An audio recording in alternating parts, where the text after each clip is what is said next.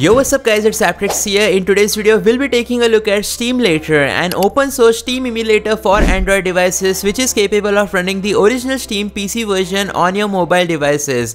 Not just that but it can also emulate Steam PC games directly on your Android device, all the Steam games that are available in your library. To get started, Steamlator is an open source project made by Slacker222 on its official GitHub page as you can see which is based on Winlator Android Bionic 1.5.2. Now let me break it down down. Steamlator is supported for Mali GPU Android devices, even unsupported Snapdragon Android devices as it has the Wrapper graphics driver support. It even works on lowest of the low-end Android devices with processors like Helio G99 and even Snapdragon 665. Now you guys can see some of the gameplay attached by the main developer of Steamlator Android which was recorded on a Snapdragon 665 processor on its official GitHub and the developer has also written some possible bugs and their fixes. The Steamulator was released about 3 weeks ago and you guys can see it is a Steam inbuilt into the Winlator Android and the Steam launcher automatically runs once the emulator is started.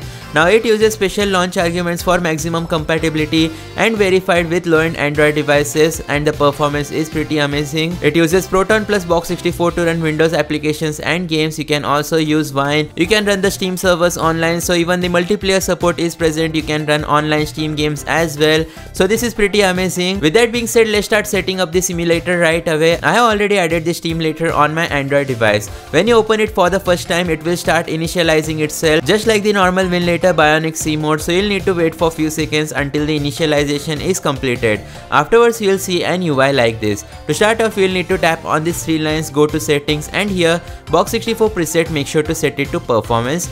Afterwards tap on the tick mark option. Once that has been done tap on these three lines afterwards tap on the add container. Now you'll create yourself a Steam container where uh, just like the normal Winlator Android, you'll need to select the best settings for best performance. So in terms of graphics driver, you get Wrapper graphics driver, which means support for Mali GPU as well as unsupported Snapdragon processor Android devices. In Wrapper, if you have a Snapdragon 8 Gen 3 processor or below, then you can go with the Turnip 25.1.0 for best performance and graphics quality. But the device which I am using in today's video is my Realme GT7 Pro with Snapdragon 8 Elite. That's why we'll be going with Wrapper graphics driver.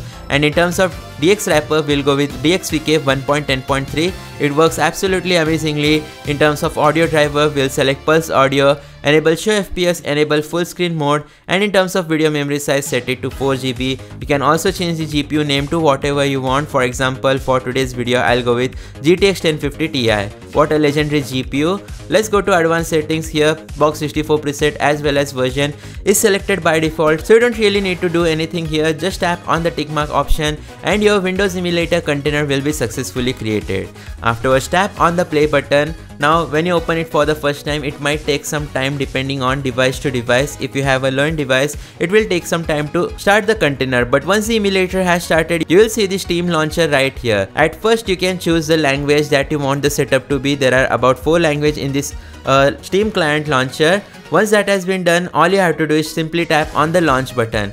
Now when you tap on launch, it will take around 1 to 2 minutes depending on your device to set up the Steam client on your Android device. Afterwards, you'll need to restart your Windows emulator. So I have already tapped on launch Steam. I'm just waiting. Don't tap on the launch game multiple times because trust me it is working in the background all you need to do is have some patience now guys as i had already set up my steam in a different container just to test out the simulator there was no pop-up but basically you get a pop-up saying that the setup is complete you'll need to uh, close your container so there will be a small box white box you just need to tap on the exit button once that has been done you can launch the container once again to finally start running steam on your android devices afterwards simply tap on the launch steam button once again and your original PC Steam will successfully start on your Android device. When you open it for the first time, it will ask you to log into your Steam account. You need to log into your Steam account afterwards. As you can see, our Steam has successfully started. I'll simply press the close button and there we go. As you can see, we are running original Steam on our Android devices and it has all the PC games like Wreckfest 2,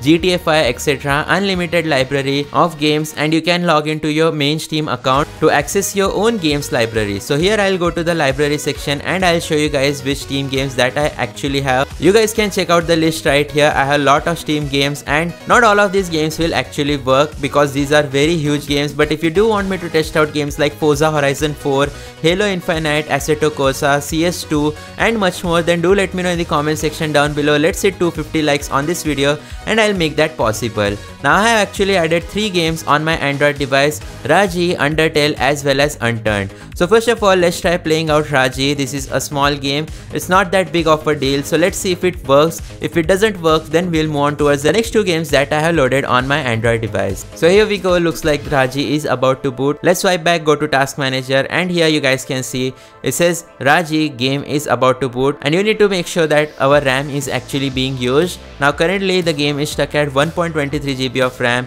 and now it is increasing as you guys can see and the game just crashed unfortunately as you guys can see Raji game has forced off. So not all Steam games will work as I mentioned before. Let's just go ahead and try out Unturned. This is another one of those Steam games that you can play on your Android device. Let's tap on the play button. Now sometimes you'll also get an error such as failure missing executable. To fix that what you'll need to do is simply right click, afterwards go to the manage section, then go to the browse section and here scroll down and run the unturned game or whatever game you're trying to play if you get that error message. And here we go looks like our game is about to boot. Once again if it boots then that's good. If it doesn't boot then it's because of the processor that I am using on my Android device which is the Snapdragon 8 Elite. Because of my processor I can see black screens in games as the Snapdragon 8 Elite is not optimized for playing games. You guys can see the RAM usage of Unturned is increasing by quite a lot about almost 3GB of RAM has been used but all we are seeing is a black screen and nothing else.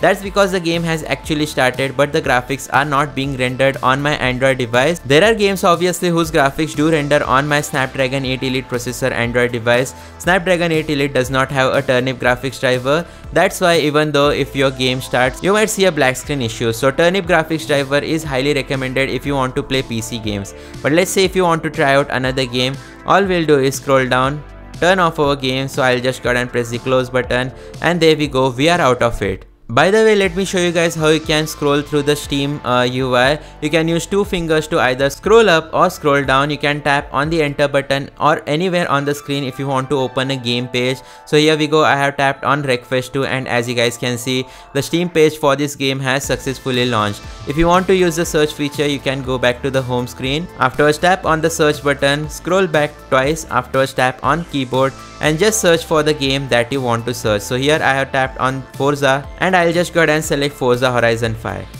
Let's go back and right here is our game as you can see our search is also working so this is a proper Steam client which we can use to try out and test Steam games on our Android devices. So that's pretty amazing. Do let me know in the comment section down below which game should I test out in the simulator next and if I do keep on seeing black screens then I'll bring out my tablet which has a Snapdragon 8 Gen 2 processor and this device will not get any black screen. So yeah this is really an amazing project. I definitely recommend you guys to try it out if you want to play Steam games on your Android device That's going to be it for today's video though. Thanks for watching. Goodbye.